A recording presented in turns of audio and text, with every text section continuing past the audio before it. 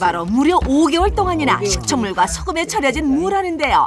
아 진짜로 물이 엄청 생겼네. 맨 처음의 모습과는 달리 장도가는 그야말로 차고 넘칠 듯한 물로 그득합니다.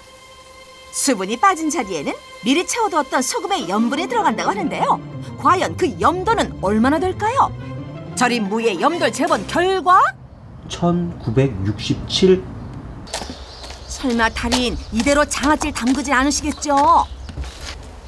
역시나 장아찌를 담그기 전 따로 하는 일이 있다는데요.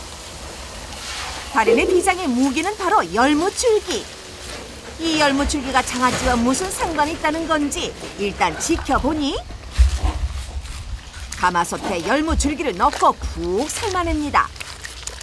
근데 가만 아니 장아찌 담그시다 말고 갑자기 열무청은 왜 삶으시는 거예요?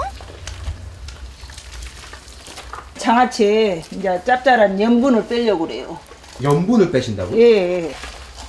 열무로 대체 어떻게 염분을 쭉 뺀다는 건지 궁금한 찰나 삶아낸 물만 거른다? 이게 바로 짜지 않은 장아찌의 비법 맞나요?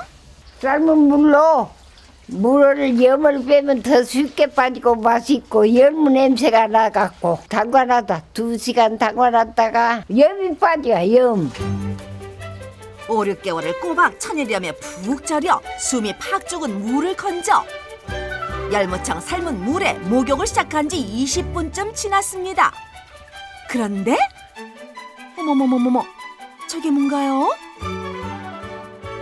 보글보글 올라오는 하얀 덩어리들 저게 바로 절인 무에서 빠져나온 염분이란 말씀인 거죠.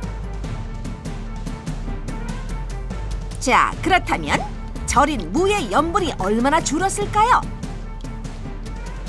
열무청 삶은 물에 2시간 동안 푹 담가 염분을 뺀 무의 염도 측정 결과 1022mg 담그기 전과 비교하니 945mg의 염분이 흔적도 없이 사라졌습니다 어떻게 생각하셨어요? 저런 방법을? 머리로 호지라 머리로 다 자같이도 머리로 있지 뭐 어디서 배워하더라